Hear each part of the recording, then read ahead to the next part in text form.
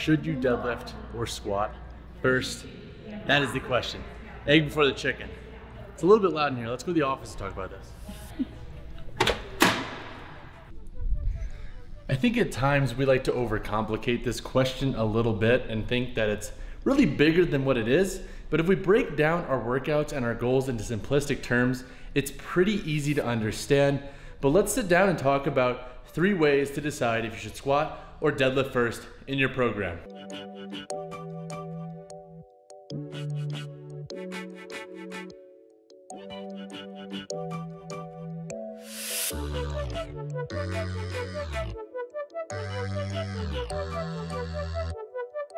So for a little bit of context, I think this question gets overcomplicated because we hear things like, oh, the deadlift is more demanding on our central nervous system than the squat and so forth, which actually might not be true based on some relevant research that looked at the two that found that they're pretty dang even when it comes to the overall central neural demand that they both in place on the body. But then we hear questions like, oh, you should always squat first because it goes squat, bench, deadlift, and the meet, and that's just how it is. So who's to say who's right? Well, that's where we have to factor in our individuality and the context of our goals and so forth. So to help you out, I broke this video into three different chapters. So three different ways we can look at how to structure our squat and deadlift if we have them programmed in the same workout day. Let's dive into chapter one. Chapter one is most catered to recreational lifters, and this is kind of the simplified way to look at this question if it ever comes up or if you're programming for yourself and you have a squat and dead on the same day. So the first way you can structure this is to look at your workout program goals from an acute mindset. So more than likely, you'll notice that one of those lifts is gonna have a slightly higher intensity.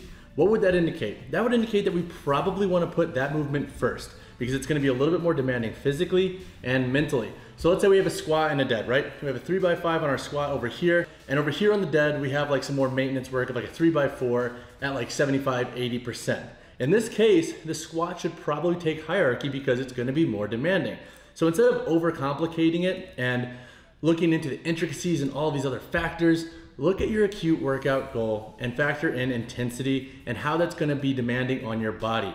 Why would you put a movement that's not gonna be physically and mentally demanding first, and then do a higher intensity movement second when your goal is to put the most effort possible into this adaptation in the second movement. Doesn't make a whole lot of sense. So in chapter one, if you're thinking about structuring your squat and deadlift, just look at the intensity and the acute workout goal and then proceed from there. Then you can dive into the intricacies once you start noticing trends as you get better at acclimating to performing both of these movements in the same day and working with different intensities for them.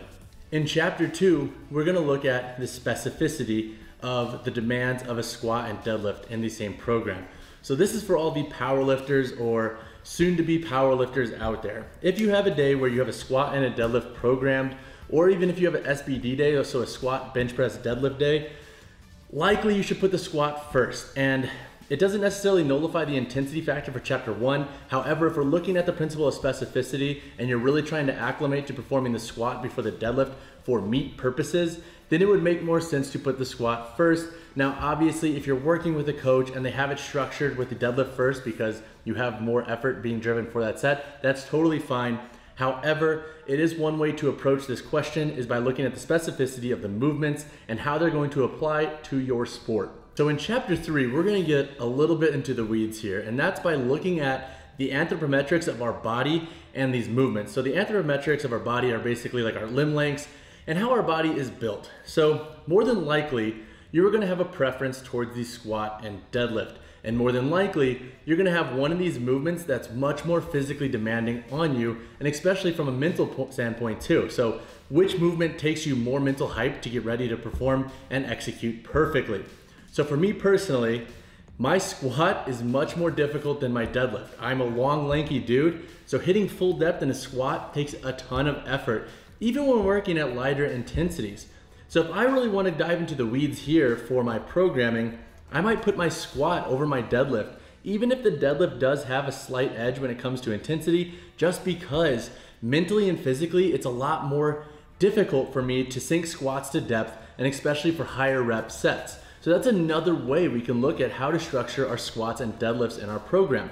So if you're not gonna factor in intensity and they're both pretty even with you with that case, then you could look at it from an anthropometric and like individuality standpoint when it comes to the effort it takes for you to perform each movement. If your deadlift is extremely tough for you, even with lighter intensities, then it might be worth putting forth. And it might be worth structuring in front of the squat, especially if you're learning this movement, because you want your full attention, effort, and energy going to perfecting that movement, executing clean reps, and so forth.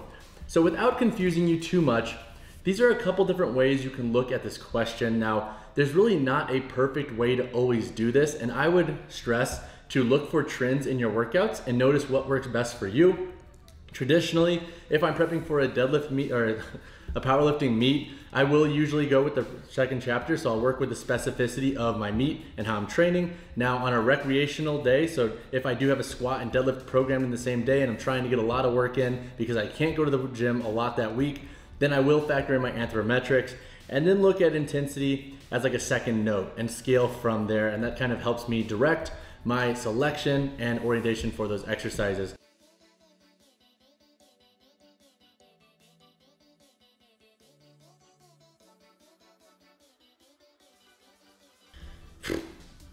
Did I just make this a little bit harder? I freaking hope not. I hope that I gave you some pillars to look at when structuring your squat and deadlift.